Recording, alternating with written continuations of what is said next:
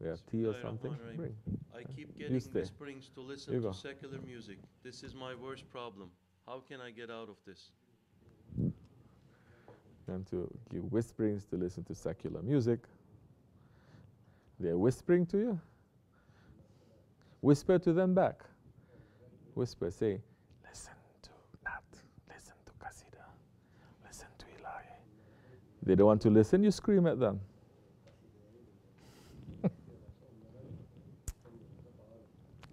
Keep everything balanced too. People who listen to zikr 24 hours too, they're not too normal. You cannot do that. I'm not saying listen to secular music. Ask yourself why you need to listen. What are you taking from it? Where is it bringing you?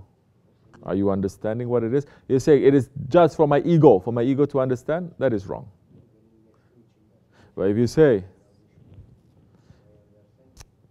I'm listening to the music and I'm trying to understand where the shaitanic influence is coming from and how it affects people.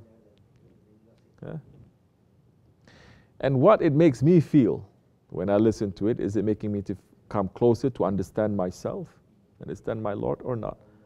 Those are the things, maybe. That's okay. But keep everything in balance. We live in this life in balance. It has to be. Inshallah. Assalamu alaikum.